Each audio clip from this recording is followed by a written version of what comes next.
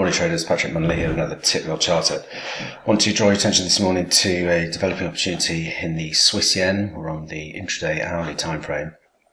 On the daily chart, we got a bearish uh, key reversal pattern on Friday and now looking for a corrective move to develop, ideally in three waves here, to test into this 117.20 confluence area, which is the 50% retracement and equal legs versus this structure Watch for bearish reversal patterns on the hourly time frame to set short positions, uh, targeting a retest of Friday's lows initially at 116.64, through there into the 127 extension at 116.34, and then ideally to the equal legs target at 116.14.